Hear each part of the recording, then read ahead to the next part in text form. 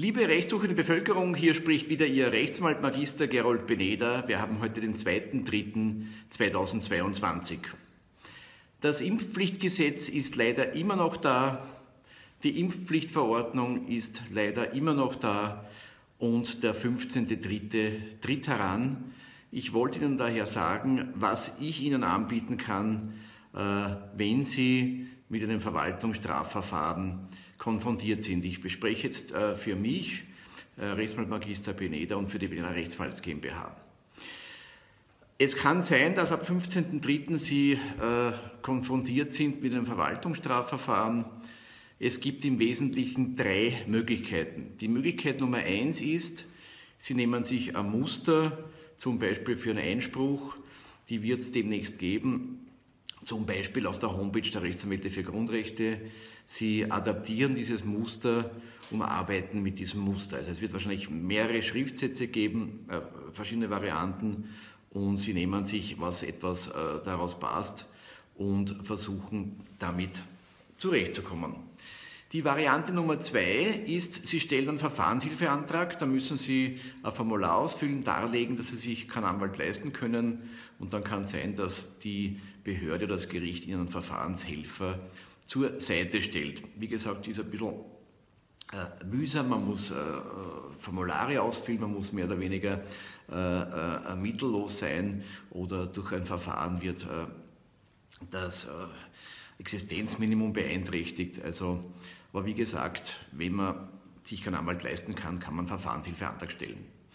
Und die dritte Variante, das ist die Variante, über die ich jetzt primär sprechen wollen. Also wenn Sie sich äh, einen gewählten Anwalt nehmen, dann kann ich Ihnen folgende Konditionen anbieten. Und zwar für das Verfahren erster Instanz. Da wird wahrscheinlich zu machen sein, einmal ein Einspruch binnen 14 Tagen, ein fundierter, mit Information, vielleicht mit Unterlagen. Wahrscheinlich kommt dann noch eine Aufforderung zu einer speziellen Rechtfertigung von der Behörde. Äh, und dieses Verfahren, erste Instanz betreffend Verwaltungsstrafverfahren, kann ich Ihnen pauschalieren um 600 Euro inklusive Umsatzsteuer. Wenn das zum Erfolg führt, ist das Verfahren vorbei. Wenn das nicht zum Erfolg führt, gibt es das Verfahren zweiter Instanz beim äh, Landesverwaltungsgericht. Äh, da wird zu machen sein eine Beschwerde binnen vier Wochen. Äh, also dieses, äh, vielleicht gibt es auch noch ein paar Ergänzungen oder Schriftsätze, die zu machen sind.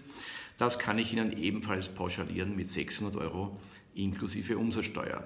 Allerdings ist es wahrscheinlich, dass in diesen Verwaltungsverfahren auch eine mündliche Verhandlung stattfindet. Also wenn das der Fall sein sollte, erhöhen sich die Kosten um 600 Euro, also auf insgesamt 1200 Euro inklusive Umsatzsteuer. Wie gesagt, ich sammle seit rund eineinhalb Jahren Unterlagen betreffend Gentherapie, Impfung.